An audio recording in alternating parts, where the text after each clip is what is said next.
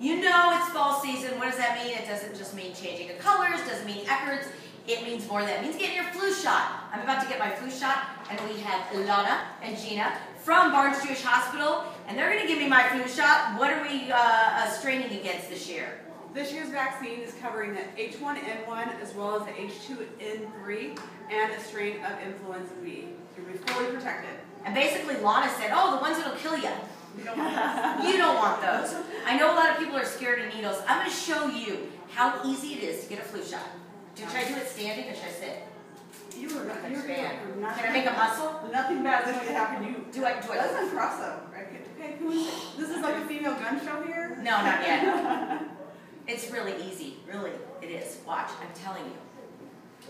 So only contraindications for getting the flu shot would be uh, allergies to chicken or egg or a recent fever respiratory infection. Any of those apply to you? Not that I know of. Okay, a little poke. One, two, three, and, and done. Did you do it yet? I did it. Right? That's why I get paid the big dollars. Piece of cake. Get your flu shot. Bye. Thank you.